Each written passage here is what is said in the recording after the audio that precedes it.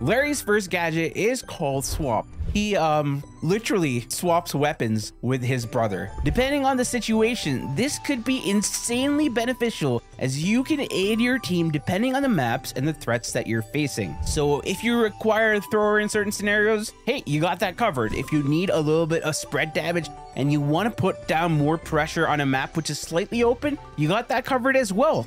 Now, we're going to move on to Larry's second gadget, and it is called Fall Back. And I gotta say, it's my favorite gadget. It is so adorable the way that you can use this. With this gadget, Larry and Lawrie swap places in the map by dashing towards each other. They both heal 33%. The gadget has an undefined range, so you can swap places literally across showdown maps and it'll work. But if there's an obstruction in the way, You'll stop at the nearest obstruction. You don't gain invincibility with this gadget, however, and you can definitely die while using it.